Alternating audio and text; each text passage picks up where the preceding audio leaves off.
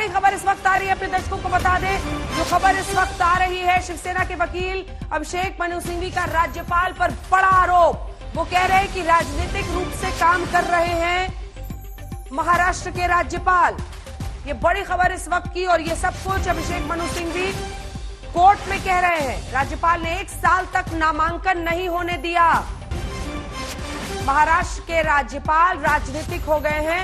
अभिषेक मनु सिंघवी ये आरोप supreme court में लगा रहे हैं राज्यपाल भगत सिंह कोश्यारी पर। वो कह रहे हैं कि एक साल तक नामांकन नहीं होने दिया। संजय। जी हाँ बिल्कुल उनका ये साफ़ कहना था कि राज्यपाल कोई पवित्र गाय नहीं है he is not holy cow जो लोग ये कह रहे हैं कि राज्यपाल गैर राजनीतिक पद है और स्पीकर पॉलिटिकल है, ऐसा नहीं है। राज्यपाल भी पॉलिटिकल होते हैं और उन्होंने साफ़ कहा है कि गवर्नर के ऑफ़िस को भी देखा जाना ज़रूरी है। गवर्नर ने गवर्नर ने किसी विधायक से बात तक नहीं की। गवर्नर कोई देवदूत नहीं है नॉट एन एंजल वो भी इंसान है, गवर्नर ने सीएम से बात भी नहीं की, एक तरफा फैसला लिया है। तो सीएम से तो कम से कम बात करनी थी, अगर वो ये फैसला लेना चाहते हैं। लिहाजा उन्होंने पहले भी ये कहा था कि वो सीएम और मंत्रिमंडल से सलाह मशवरा करने के बजाय विपक्ष के नेता से सलाह मशवरा करते हैं और इनका कहना है कि अगर फ्लोर टेस्ट जो कल होने वाला है उसमें 16 विधायकों को वोट का अधिकार दे दिया जाता है। बाद में वो अयोग्य घोषित हो गए तो फिर क्या होगा? उन्होंने तमाम ऐसे सवाल भी उठाए हैं और हाँ। ये कहा है कि गवर्नर राजनीतिक हैं और इसको, ये कहना सही नहीं है कि गवर्नर होली का होते हैं वो भी राजनीतिक आदमी है। विद्या विद्या जल्दी से एक तो सुरक्षा की तैयारी। बहुमत परीक्षण को एकदम इमिनेंट अब देखा जा रहा है क्या मुंबई में भी? और तीसरा जो ये अभिषेक मनु सिंह भी कह रहे हैं राज्यपाल को लेकर तीनों पर। विद्या।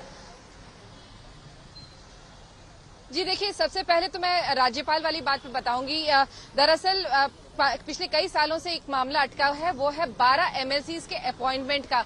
ये हम्म। मुद्दा अदालत में भी गया था। चीफ जस्टिस बॉम्बे हाईकोर्ट ने इन्होंने इसमें हस्तक्षेप करने से मना कर दिया था। उन्होंने भी हालाँकि हस्तक्षेप करने से मना करते हुए भी कहा था कि ये अपॉइंटमेंट हो जाने चाहिए, क्योंकि ये ज़रूरी है, ये राज्य की भलाई के लिए है। लेकिन उसके बावजूद बता दीजिए कि एक साल से ऊपर का समय हो चुका है, ये अपॉइंटमेंट नहीं हुए।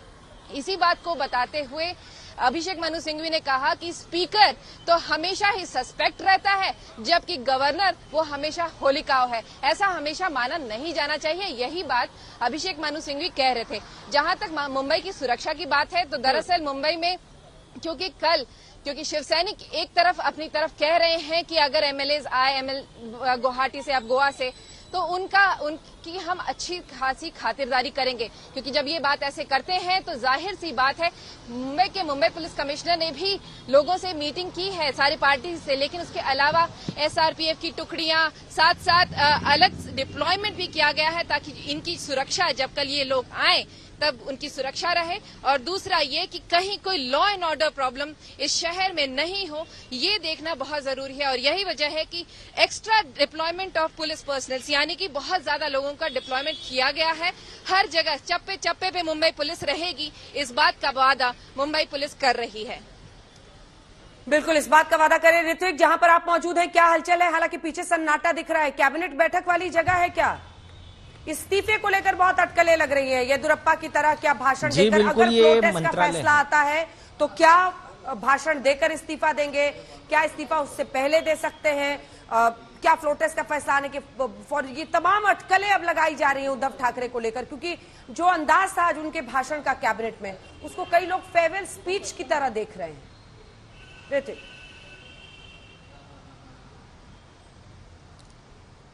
जी बिल्कुल अंजना, ये वही मंत्रालय है जहाँ कुछ घंटे मतलब एक ही घंटे पहले कैबिनेट की बैठक हुई थी और लवालब भरा हुआ था मंत्रालय, क्योंकि उद्धव ठाकरे खुद आए थे मंत्रालय, कई दिनों बाद वो कैबिनेट में आकर खुद शरीक हुए थे और यहाँ पर उन्हें देखने के लिए भीड़ हो गई थी कर्मचारियों की। अब क्योंकि बहुत भावुक भाषण देकर वो चले गए हैं और कोर्ट में अभी भी जिरह शुरू है और सभी की निगाहें कोर्ट पर लगी हुई है कि आखिर क्या फैसला होगा फ्लोर टेस्ट होगा या नहीं होगा? आ, माना जा रहा है सूत्रों से जो खबर मिल रही है उद्धव ठाकरे जो है इसी फैसले के ऊपर निर्भर है कि आगे वो क्या करते हैं। जबकि एमवीए सरकार के सभी मंत्री और सभी नेता उनकी जो बैठकों का सत्र चला इस बैठक में ये बात साफ़ तौर पर उभर कर सामने आई कि इस्तीफा देने से पहले कहीं ना कहीं फ्लोर टेस्ट में अपनी बात रखना बहुत ज़रूरी है, उसे ऑन रिकॉर्ड लाना बहुत ज़रूरी है। और हमें पता ही है, इससे पहले भी जो कुछ सेशन हुए थे उस सेशन में उद्धव ठाकरे सभागृह में भी कहीं ना कहीं जो भाषण होता था, वो बाहुक तरीके से ही करते थे। उसको लेकर काफ़ी क्रिटिसिज्म भी हुआ है उन पर कि वो कहीं ना कहीं पॉलिसीज़ पे बात नहीं करते, वो हमेशा भावुक भाषण क्यों करते हैं? वो भी असेंबली में इस तरह का भाषण क्या करना चाहिए किसी सीएम को? बावजूद उसके ये बताया जा रहा है, अटकलें लगाई जा रही है कि जब ये वक्त आ गया है कि ये सरकार रहेगी कि नहीं रहेगी और क्या सीएम उद्धव ठाकरे को कहीं ना कहीं अब इस्तीफा देना चाहिए उस उस समय पर अगर इस तरह का निर्णय आता है सुप्रीम कोर्ट से कि फ्लोर टेस्ट को सामने जाना पड़ेगा। एमवीए सरकार को